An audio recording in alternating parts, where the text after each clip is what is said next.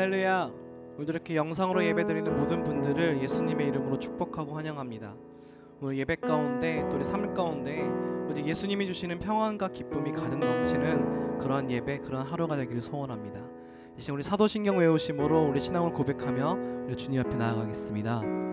전능하사 천지를 만드신 하나님 아버지를 내가 믿사오며 그 외아들 우리 주 예수 그리스도를 믿사오니 이는 성령으로 잉태하사 동정녀 마리아에게 나시고 본디오 빌라도에게 고난을 받으사 십자가에 못 박혀 죽으시고 장사한 지 사흘 만에 죽은 자 가운데서 다시 살아나시며 하늘을 사 전능하신 하나님 우편에 앉아 계시다가 저리로서 산자와 죽은 자를 심판하러 오시리라. 성령을 믿사오며 거룩한 공예와 성도가 서로 교통하는 것과 죄를 사해 주시는 것과 몸이 다시 사는 것과 영원히 사는 것을 믿사옵나이다. 아멘. 이렇게 주님을 찬양하겠습니다.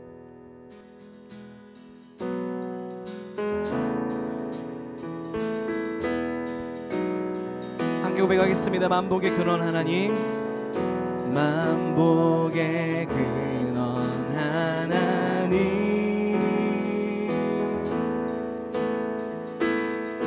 온 백성 찬송 드리고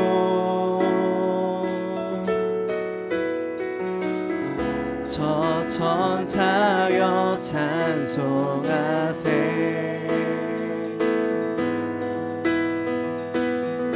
찬송 성부 성자 성녀. 한번 더 배가겠습니다. 만복의 근원 하나님. 만복의 근원 하나님.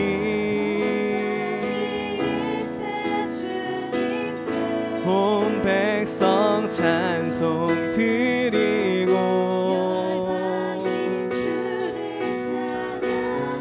저 천사여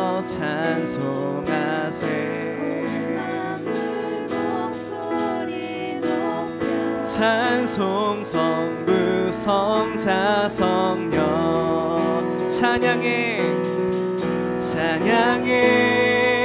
광대하시 삼위의 하나님.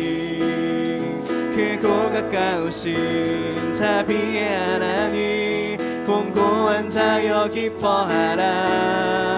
찬양해 헌약의 주 선하신 하나님.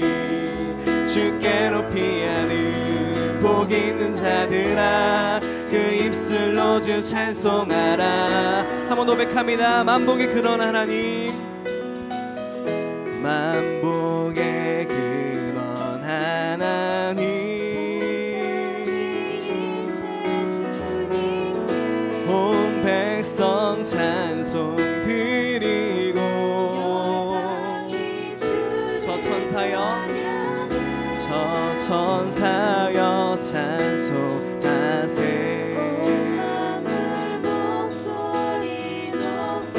찬송 성부 성자서 함께 주님을 찬양합니다. 찬양해. 찬양해. 광대하신 삼위의 하나님. 크고 가까우신 자비의 하나님. 공고한 자여 기뻐하라. 찬양해.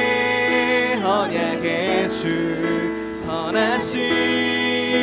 하나님 주께 높이 하는 복 있는 자들아 그 입술로 주 찬송 한 번 더 찬양해. 찬양해. 광대하신 삼위의 하나님 크고 가까우신 자비의 하나님 공고한 자여 기뻐 한 번 더 찬양해. 찬양해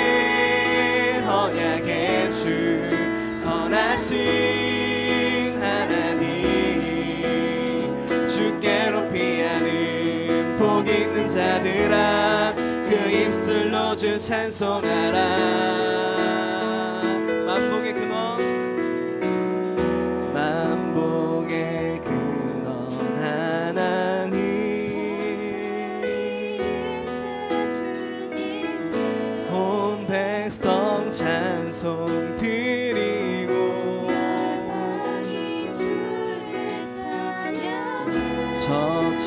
천사여 찬송하세.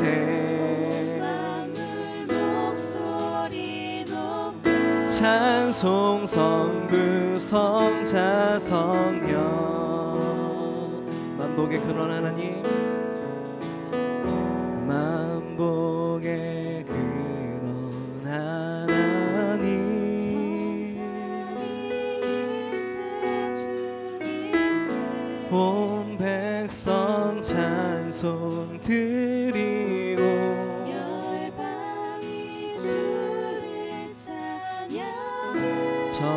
저 천사여 찬송하세.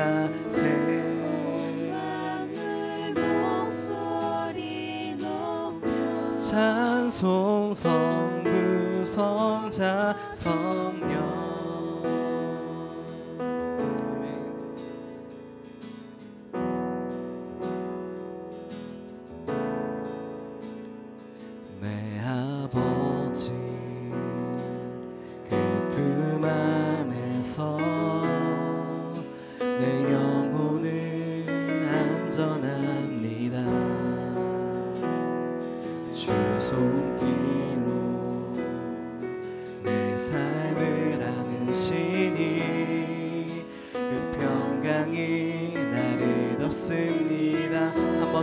아버지 내 아버지 그 품 안에서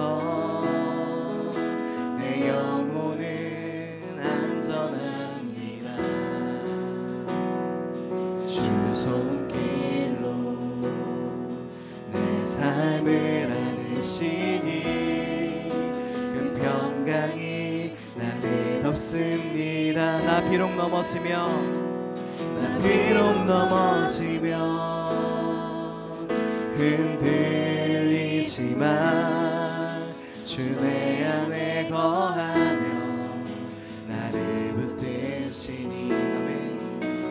내 생각을 주께로 돌리고 주시는 평강의 옷을 입습니다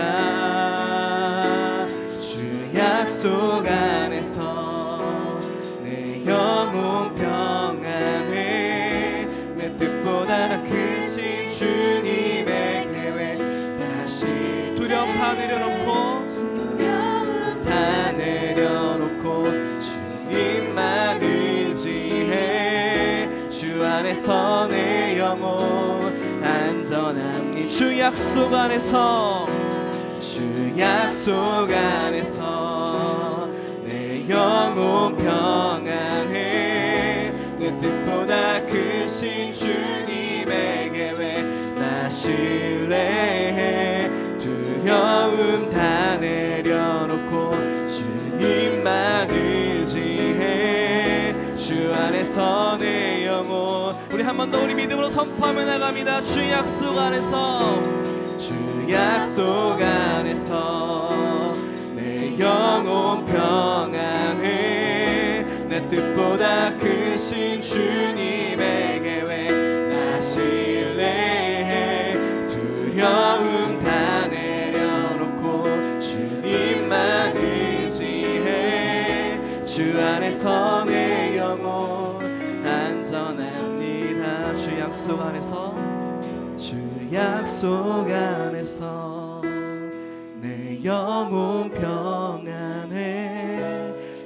내 뜻보다 크신 주님의 계획 나 신뢰해 두려움 다 내려놓고 주님만 의지해 주 안에서 내 영혼 안전합니다. 주 안에서 내 영혼 주 안에서 내 영혼 안전합니다 주 안에서 내 영혼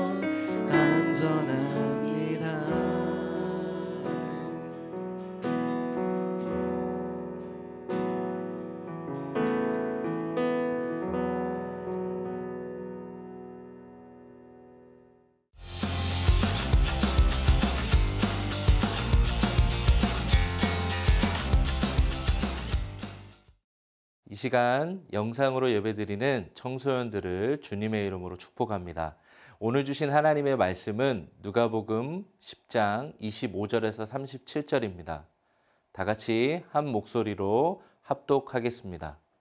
어떤 율법 교사가 일어나 예수를 시험하여 이르되 선생님 내가 무엇을 하여야 영생을 얻으리이까 예수께서 이르시되 율법에 무엇이라 기록되었으며 내가 어떻게 읽느냐 대답하여 이르되 내 마음을 다하며 목숨을 다하며 힘을 다하며 뜻을 다하여 주 너의 하나님을 사랑하고 또한 내 이웃을 내 자신과 같이 사랑하라 하였나이다. 예수께서 이르시되 내 대답이 옳도다. 이를 행하라 그러면 살리라 하시니 그 사람이 자기를 옳게 보이려고 예수께 여짜오되 그러면 내 이웃이 누구니까 예수께서 대답하여 이르시되 어떤 사람이 예루살렘에서 여리고로 내려가다가 강도를 만남에 강도들이 그 옷을 벗기고 때려 거의 죽은 것을 버리고 갔더라.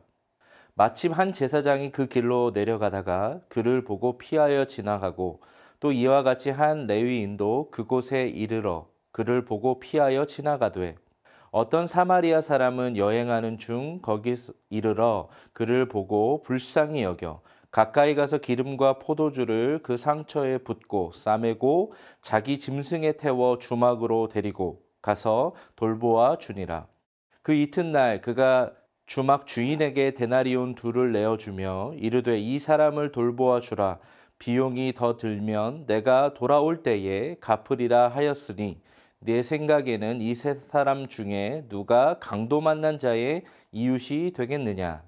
이르되 자비를 베푼 자니이다. 예수께서 이르시되 가서 너도 이와 같이 하라 하시니라. 아멘. 오늘은 누가복음 10장 25절에서 37절의 말씀을 가지고 자격인가 자비인가라는 제목으로 하나님 말씀 증거합니다. 최근에 중앙대 동문과 김누리 교수님이 쓰신 우리의 불행은 당연하지 않습니다라는 책을 읽었는데요. 그 중에 다소 파격적인 내용이 있었습니다. 지금까지 우리나라 교육은 반교육이며 대한민국 입시제도가 폐지가 되어야 된다라는 것입니다. 그 이유를 보니까 오늘날 입시지옥, 스펙 쌓기에 매몰되어 있는 교육 현장이 변질되어 있다는 것이죠. 그러한 예로 여러분 스펙은 기계를 살 때 사용되었던 단어 아닙니까? 그런데 지금은 인격체인 학생들을 향해서 더 더 더 스펙을 쌓으라고 말합니다. 여러분 스펙이 왜 필요합니까? 어떠한 기준에 미치기 위한 자격이라고 생각하기 때문이죠. 같은 반 친구끼리도 스펙을 따집니다. 인싸와 아싸를 나누면서 자신들의 그룹에 들어올 자격이 있냐를 이야기합니다. 오늘 본문도 자격에 대한 질문으로 시작합니다. 25절을 보십시오. 어떤 율법 교사가 일어나 예수를 시험하여 이르되 선생님 내가 무엇을 하여야 영생을 얻으리이까? 내가 무엇을 하여야 영생을 얻으리이까? 어느 대학을 가야 할까요? 내가 무엇을 하고 먹고 살아야 할까요? 이런 차원의 질문이 아니라 영적인 질문이었습니다. 그런데 여러분, 질문의 의도가 무엇입니까? 시험하려고. 이 단어는 ἐκπειράζων이라는 단어인데 사탄이 예수님을 시험할 때 사용된 단어와 똑같은 단어입니다. 무슨 얘기입니까? 지금 율법 교사는 예수님을 에게 덫을 놓고 있는 것이죠. 만약에 예수님이 율법에 대해서 부정적으로 답변하시거나 구원에 있어서 율법을 축소시키면 꼬투리를 잡기 위해서였습니다. 내가 무엇을 하여야 영생을 얻으리까? 여러분, 그런데 더 중요한 것이 있습니다. 내가 무엇을 하여야 한다라는 이 율법 교사의 질문이었습니다. 여러분, 율법 교사의 관심은 자격이었습니다. 그러자 예수님께서 답변하지 않으시고 역 질문을 하십니다. 26절을 한번 보십시오. 예수께서 이르시되 율법에 무엇이라 기록되었으며 내가 어떻게 읽느냐? 여러분 질문이 끝나자마자 율법 교사는 알파고처럼 신명기와 레위기의 말씀을 줄줄 인용하면서 내 마음을 다하며 목숨을 다하며 힘을 다해서 뜻을 다해서 너희 하나님을 사랑하고 또한 내 이웃을 내 자신과 같이 사랑하다라고 대답합니다. 여러분 예수님께서 뭐라고 말씀하십니까? 28절에 보니까 예수께서 이르시되 내 대답이 옳도다. 이를 행하라. 그러면 살리라 하시니. 여러분 일을 행하라. 살리라. 이 말씀은 무슨 뜻입니까? 예수님께서는 율법을 지켜야 구원받는다라고 말씀하고 있는 것입니까? 아닙니다. 율법 교사에게 하고 싶었던 말이 있었다라는 것이죠. 율법 교사가 다음과 같이 반응합니다. 29절에 보니까 그 사람이 자기를 옳게 보이려고 예수께 여짜오되 그러면 내 이웃이 누구니이까? 여러분, 왜 율법 교사는 내 이웃은 누구일까요? 라고 이런 질문을 했을까요? 자기 자신을 옳게 보이려고 자신이 생각하는 그 이웃에게 자신이 충분히 자비를 베풀고 있다라고 생각했기 때문입니다. 다시 말하면 영생을 얻을 만한 충분한 자격이 자신에게 있었다라고 생각한 것이죠. 그러자 예수님께서 비유를 들어서 말씀하십니다. 한 사람이 여리고로 내려가고 있었습니다. 당시 예루살렘은 해발 900m, 여리고는 해수면 아래로 300m 아래에 위치해 있었습니다. 두 도시를 잇는 이 길은 실제로 비탈진 산악지대로 험한 바위와 동굴이 많았습니다. 그래서 강도들이 숨어 있다가 테러를 저지르고 도망가기도 했습니다. 그만큼 여리고로 내려가는 그 길은 오늘날로 치면 조명 하나 없는 골목길을 혼자 걸어가는 것과 같습니다. 그런데 여러분, 어떤 사람이 강도를 만났습니다. 그리고 옷도 벗겨진 것이죠. 실컷 두들겨 맞고 넉다운이 되어서 죽기 일보 직전입니다. 그런데 여러분, 그 현장을 마침 한 제사장이 지나갑니다. 분명히 그를 봤는데 못 본 채 하고 지나갑니다. 또 레위인도 현장을 똑똑히 목격했습니다. 그런데 피해서 지나갔습니다. 여러분, 왜 제사장과 레위인은 그냥 지나쳤을까요? 아마도 율법은 시체를 만진 사람은 부정해지고 아마 이래 동안 제사 의식에 참여할 수 없을 것이다 라고 그가 생각한 것이죠. 아마도 머릿속으로 이렇게 합리화했을지 몰라요. 아, 이 사람을 도와주면 내가 주어진 더 큰 사명을 감당하는데 방해가 될 거야. 오늘날로 치면 누군가가 코로나에 걸려서 쓰러져 있는데 저 사람을 내가 구해주면 한동안 나는 설교를 하지 못할 거야 라고 생각하는 것과 같은 것이죠. 제사장과 레위인은 말씀을 피해 간 것입니다. 레위기 19장 34절을 한번 보십시오. 다 같이 읽겠습니다. 시작. 너희와 함께 있는 거류민을 너희 중에서 나은 자 같이 여기며 자기 같이 사랑하라. 너희도 애굽 땅에서 거류민이 되었었느니라. 나는 너희의 하나님 여호와이니라. 여러분, 제사장과 레위인이 피해 간 것은 죽어가는 사람만이 아니라 하나님의 말씀을 피해 간 것입니다. 그런데 여러분, 바로 그 현장에 어떤 사마리아인이 지나가고 있었습니다. 사마리아인과 피범벅이 된 유대인이 만났습니다. 여러분, 사마리아인과 유대인은 철천지 원수 아닙니까? 원수를 외나무 다리에서 만나게 된 것이죠. 그런데 여러분, 사마리아인이 어떻게 선택을 합니까? 33절을 보십시오. 다 같이 읽겠습니다. 시작. 어떤 사마리아 사람은 여행하는 중 거기 이르러 그를 보고 불쌍히 여겨. 여기서 사용된 불쌍히 여기다라는 단어는 에스플라크나스라는 단어인데 깊은 동정심을 가졌다라는 뜻입니다. 자비로운 마음이 넘쳐 흘러서 어떻게 한 것입니까? 선한 사마리아인이 그를 불쌍히 여겨서 그냥 두지 않습니다. 34절을 다 같이 읽겠습니다. 가까이 가서 기름과 포도주를 그 상처에 붓고 싸매고 자기 짐승에 태워 주막으로 데리고 가서 돌보아 주니라. 여러분 그저 보고만 있지 않았습니다. 가까이 갔습니다. 피하지 않았습니다. 기름과 포도주를 붓고 상처를 싸매어 주었습니다. 지나치지 않았습니다. 그리고 여러분 자신의 짐승에 태워서 주막에 데리고 가서 돌보아 주었습니다. 여러분 심폐소생술하고 응급조치 해주었으면 충분한 거 아닙니까? 그런데 사마리아인은 극진한 선행을 합니다. 35절을 보십시오. 그 이튿날 그가 주막 주인에게 데나리온 둘을 내어 주어 이르되 이 사람을 돌보아 주라 비용이 더 들면 내가 돌아올 때에 갚으리라 하였으니 여러분 당시에 숙박비가 12분의 1 데나리온이었습니다.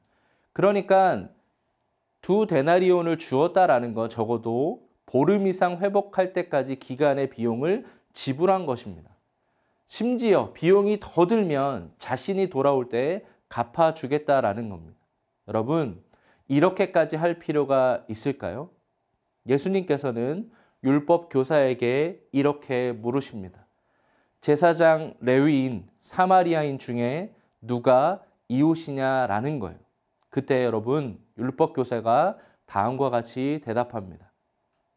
37절을 다 같이 읽겠습니다. 시작. 이르되 자비를 베푼 자니이다.